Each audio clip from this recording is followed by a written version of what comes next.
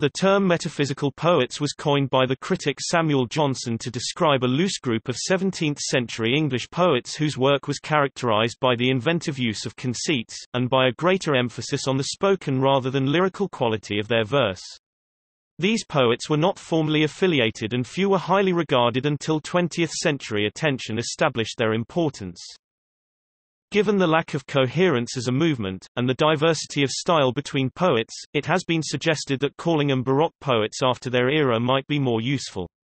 Once the metaphysical style was established, however, it was occasionally adopted by other and especially younger poets to fit appropriate circumstances.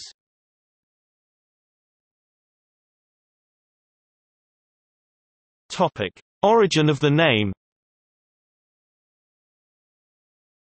In the chapter on Abraham Cowley in his Lives of the Most Eminent English Poets 1779-81, Samuel Johnson refers to the beginning of the 17th century in which there appeared a race of writers that may be termed the metaphysical poets. This does not necessarily imply that he intended metaphysical to be used in its true sense, in that he was probably referring to a witticism of John Dryden, who said of John Donne, he affects the metaphysics, not only in his satires, but in his amorous verses, where nature only should reign, and perplexes the minds of the fair sex with nice speculations of philosophy, when he should engage their hearts, and entertain them with the softnesses of love. In this, Mr. Cowley has copied him to a fault. Probably the only writer before Dryden to speak of the new style of poetry was Drummond of Hawthornden, who in an undated letter from the 1630s made the charge that some men of late, transformers of everything, consulted upon her reformation, and endeavored to abstract her to metaphysical ideas and scholastical quiddities, denuding her of her own habits, and those ornaments with which she hath amused the world some thousand years.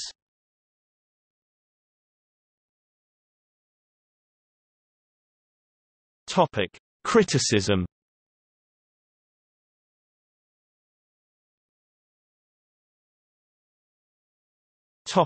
The Augustans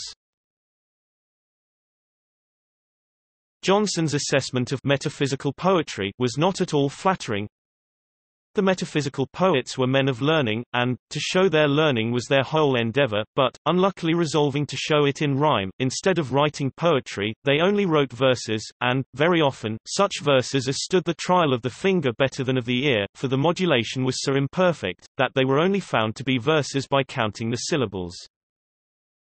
The most heterogeneous ideas are yoked by violence together, nature and art are ransacked for illustrations, comparisons, and allusions, their learning instructs, and their subtlety surprises, but the reader commonly thinks his improvement dearly bought, and, though he sometimes admires, is seldom pleased.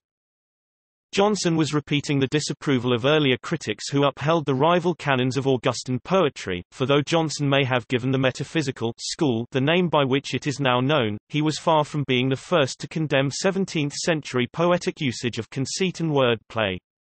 John Dryden had already satirized the Baroque taste for them in his Mac Flecknoe and Joseph Addison, in quoting him, singled out the poetry of George Herbert as providing a flagrant example.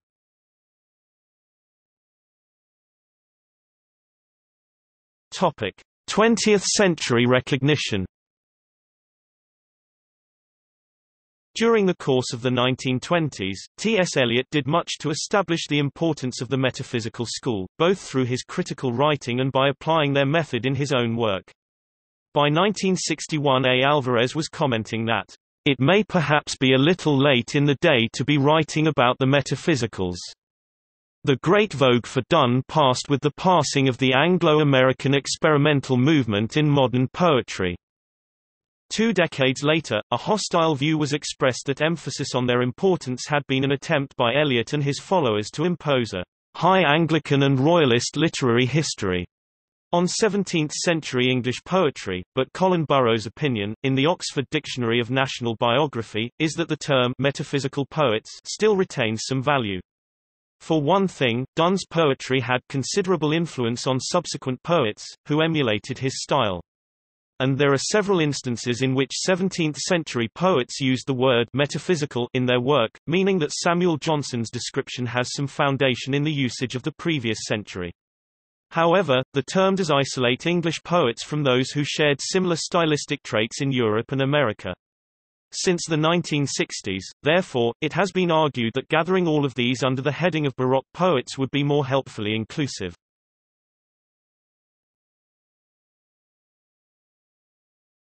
Topic. Members of the group There is no scholarly consensus regarding which English poets or poems fit within the metaphysical genre. In his initial use of the term, Johnson quoted just three poets, Abraham Cowley, John Donne, and John Cleveland. Colin Burrow later singled out John Donne, George Herbert, Henry Vaughan, Andrew Marvell, and Richard Crashaw as central figures, while naming many more, all or part of whose work has been identified as sharing its characteristics. Two key anthologists in particular were responsible for identifying common stylistic traits among 17th-century poets. Herbert Grierson's Metaphysical Lyrics and Poems of the Seventeenth Century 1921 was important in defining the metaphysical canon. In addition, Helen Gardner's Metaphysical Poets 1957 included proto-metaphysical writers such as William Shakespeare and Sir Walter Raleigh and, extending into the Restoration, brought in Edmund Waller and Rochester. While comprehensive, her selection, as Burrow remarks, so dilutes the style as to make it virtually coextensive with 17th-century poetry. Late additions to the metaphysical canon have included sacred poets of both England and America who had been virtually unknown for centuries. John Norris was better known as a Platonist philosopher. Thomas Traherne's poetry remained unpublished until the start of the 20th century. The work of Edward Taylor, who is now counted as the outstanding English-language poet of North America, was only discovered in 1937.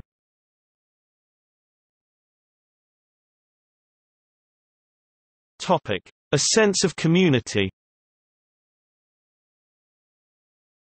Johnson's definition of the metaphysical poets was that of a hostile critic looking back at the style of the previous century. In 1958 Alvarez proposed an alternative approach in a series of lectures eventually published as the School of Donne. This was to look at the practice and self-definition of the circle of friends about Donne, who were the recipients of many of his verse letters. They were a group of some 15 young professionals with an interest in poetry, many of them poets themselves although, like Donne for much of his life, few of them published their work. Instead, copies were circulated in manuscript among them. Uncertain ascriptions resulted in some poems from their fraternity being ascribed to Donne by later editors. A younger second generation was a close-knit group of courtiers, some of them with family or professional ties to Donne's circle, who initially borrowed Donne's manner to cultivate wit. Among them were Lord Herbert of Cherbury and his brother George, whose mother Magdalen was another recipient of verse letters by Donne. Eventually George Herbert, Henry Vaughan and Richard Crashaw, all of whom knew each other, took up the religious life and extended their formerly secular approach into this new area.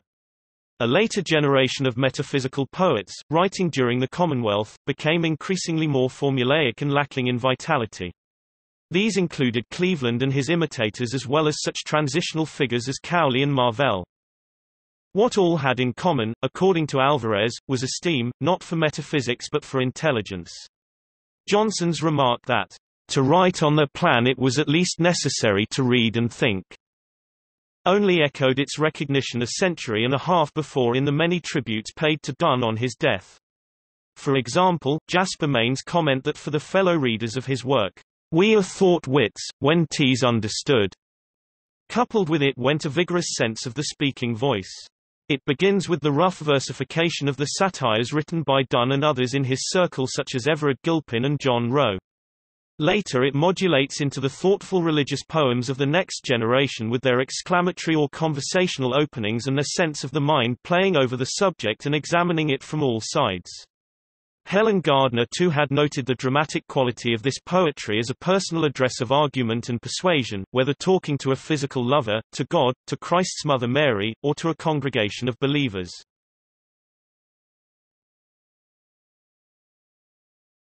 Topic. Elegists A different approach to defining the community of readers is to survey who speaks of whom, and in what manner, in their poetry. On the death of Donne, it is natural that his friend Edward Herbert should write him an elegy full of high-flown and exaggerated metaphysical logic. In a similar way, Abraham Cowley marks the deaths of Crashaw and of another member of Donne's literary circle, Henry Wotton. Here, however, though Cowley acknowledges Crashaw briefly as a writer, poet and saint, his governing focus is on how Crashaw's goodness transcended his change of religion. The elegy is as much an exercise in a special application of logic as was Edward Herbert's on Donne. Henry Wotton, on the other hand, is not remembered as a writer at all, but instead for his public career. The conjunction of his learning and role as ambassador becomes the extended metaphor on which the poem's tribute turns.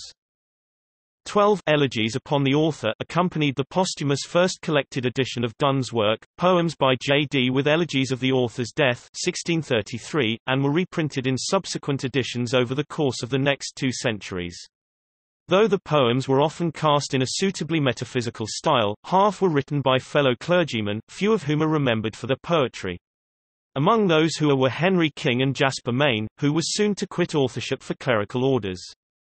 Bishop Richard Corbett's poetry writing was also nearly over by now and he contributed only a humorous squib. Other churchmen included Henry Valentine Florida 1600-50, Edward Hyde 1607-59, and Richard Busby. Two poets, Lucius Cary, 2nd Viscount Falkland and Thomas Carew, who were joined in the 1635 edition by Sidney Godolphin, had links with the heterodox Great Tew Circle. They also served as courtiers, as did another contributor, Endymion Porter. In addition, Carew had been in the service of Edward Herbert. Izaak Walton's link with Donne's Circle was more tangential. He had friends within the Great Tew Circle but at the time of his elegy was working as a researcher for Henry Wotton, who intended writing a life of the poet. This project Walton inherited after his death, publishing it under his own name in 1640. It was followed by a life of Wotton himself that prefaced the collection of Wotton's works in 1651. A life of George Herbert followed them in 1670. The links between Donne's elegists were thus of a different order from those between Donne and his circle of friends, often no more than professional acquaintanceship.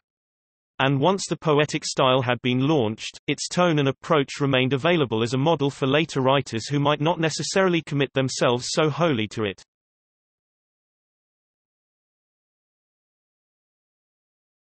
Topic: Characteristics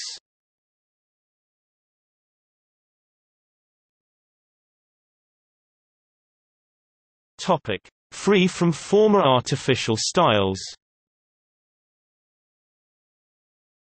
Grierson attempted to characterize the main traits of metaphysical poetry in the introduction to his anthology. For him it begins with a break with the formerly artificial style of their antecedents to one free from poetic diction or conventions. Johnson acknowledged as much in pointing out that their style was not to be achieved by descriptions copied from descriptions, by imitations borrowed from imitations, by traditional imagery and hereditary similes.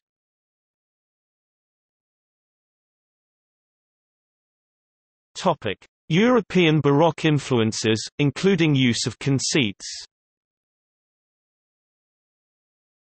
Another characteristic singled out by Grierson is the Baroque European dimension of the poetry, its fantastic conceits and hyperboles which was the fashion throughout Europe. Again Johnson had been partly before him in describing the style as borrowed from Marino and his followers. It was from the use of conceits particularly that the writing of these European counterparts was known, concettism in Italian, conceptismo in Spanish. In fact Crashaw had made several translations from Marino. Grierson noted in addition that the slightly older poet, Robert Southwell, who is included in Gardner's anthology as a precursor, had learned from the antithetical, conceited style of Italian poetry and knew Spanish as well. The European dimension of the Catholic poets Crashaw and Southwell has been commented on by others. In the opinion of one critic of the 1960s, defining the extent of the Baroque style in 17th-century English poetry may even be said to have taken the place of the earlier discussion of the metaphysical. Southwell counts as a notable pioneer of the style, in part because his formative years were spent outside England. And the circumstance that Crashaw's later life was also spent outside England contributed to making him, in the eyes of Mario Praz, the greatest exponent of the Baroque style in any language. Crashaw is frequently cited by Harold Segel when typifying the characteristics of the Baroque poem, but he goes on to compare the work of several other metaphysical poets to their counterparts in both Western and Eastern Europe. The use of conceits was common not only across the continent, but also elsewhere in England among the Cavalier poets, including such elegists of Donne as Carew and Godolphin. As an example of the rhetorical way in which various forms of repetition accumulate in creating a tension, only relieved by their resolution at the end of the poem, Segel instances the English work of Henry King as well as Ernst Christoph Homburg's in German and Jan Andrzej Morsztyn's in Polish. In addition, Marvell's to his coy mistress is given as a famous example of the use of hyperbole common to many other metaphysical poets and typical of the Baroque style too.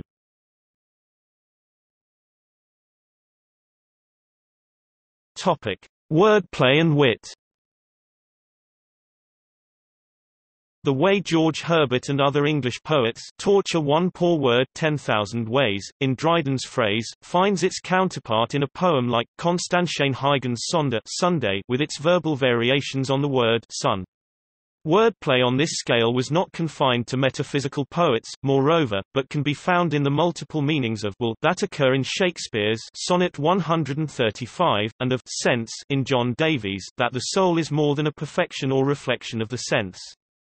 Such rhetorical devices are common in Baroque writing and frequently used by poets not generally identified with the metaphysical style. Another striking example occurs in Baroque poems celebrating black beauty, built on the opposition between the norm of feminine beauty and instances that challenge that commonplace. There are examples in sonnets by Philip Sidney, where the key contrast is between black and bright, by Shakespeare, contrasting black and various meanings of fair, and by Edward Herbert, where black, dark and night contrast with light, bright and spark. Black hair and eyes are the subject in the English examples, while generally it is the color of the skin with which Romance poets deal in much the same paradoxical style. Examples include Edward Herbert's La Gialletta Galante or The Sunburned Exotic Beauty and Marino's La Bella Schiava The Beautiful Slave. Still more dramatically, Luis de Góngora's En la Fiesta del Santísimo Sacramento at the Feast of the Blessed Sacrament introduces a Creole dialogue between two black women concerning the nature of the beauty. Much of this display of wit hinges upon enduring literary conventions and is only distinguished as belonging to this or that school by the mode of treatment. But English writing goes further by employing ideas and images derived from contemporary scientific or geographical discoveries to examine religious and moral questions, often with an element of casuistry. Bringing greater depth and a more thoughtful quality to their poetry, such features distinguish the work of the metaphysical poets from the more playful and decorative use of the Baroque style among their contemporaries.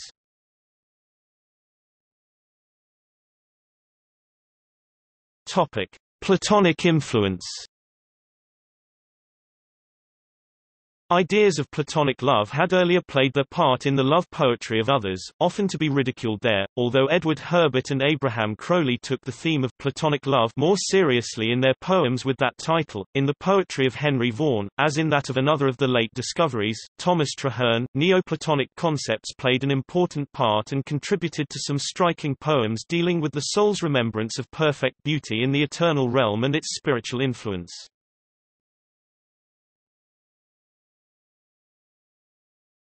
Topic: Stylistic echoes. Long before it was so named, the metaphysical poetic approach was an available model for others outside the interlinking networks of 17th-century writers, especially young men who had yet to settle for a particular voice.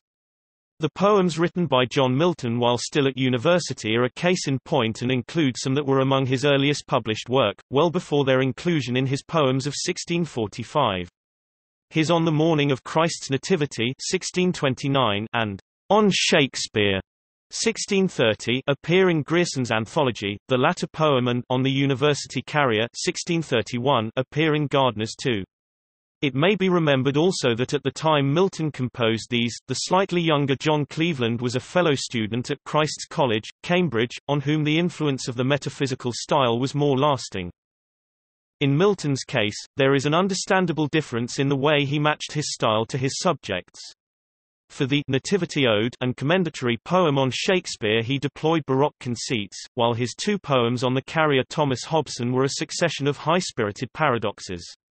What was then titled An Epitaph on the Admirable Dramatic Poet, W. Shakespeare was included anonymously among the poems prefacing the second folio publication of Shakespeare's plays in 1632. The poems on Thomas Hobson were anthologized in collections titled A Banquet of Jests 1640, reprinted 1657, and Wit Rested 1685, bracketing both the 1645 and 1673 poetry collections published during Milton's lifetime. The start of John Dryden's writing career coincided with the period when Cleveland, Cowley and Marvell were first breaking into publication. He had yet to enter university when he contributed a poem on the death of Henry Lord Hastings to the many other tributes published in Lachrymae Musarum 1649. It is typified by astronomical imagery, paradox, baroque hyperbole, play with learned vocabulary, and universal metempsychosis, an irregular versification which includes frequent enjambment. The poem has been cited as manifesting the extremes of the metaphysical style, but in this it sits well with others there that are like it, John Denham's Elegy on the Death of Henry Lord Hastings, for example, or Marvell's rather smoother Upon the Death of the Lord Hastings. The several correspondences among the poems there are sometimes explained as the result of the books making a covert royalist statement. In the political circumstances following the recent beheading of the king, it was wise to dissemble grief for him while mourning another under the obscure and closely wrought arguments typical of the metaphysical style. The choice of style by the young Milton and the young Dryden can therefore be explained in part as contextual. Both went on to develop radically different ways of writing, neither could be counted as potentially metaphysical poets. Nor could Alexander Pope, yet his early poetry evidences an interest in his metaphysical forebears. Among his juvenilia appear imitations of Cowley. As a young man he began work on adapting Donne's second satire, to which he had added the fourth satire II by 1735. Pope also wrote his Elegy to the Memory of an Unfortunate Lady 1717 while still young, introducing into it a string of metaphysical conceits in the lines beginning Most souls, tease true, but peep out once an age which in part echo a passage from Donne's Second Anniversary. By the time Pope wrote this, the vogue for the metaphysical style was over and a new orthodoxy had taken its place, of which the rewriting of Donne's satires was one expression. Nevertheless, Johnson's dismissal of the school was still in the future and at the start of the 18th century allusions to their work struck an answering chord in readers.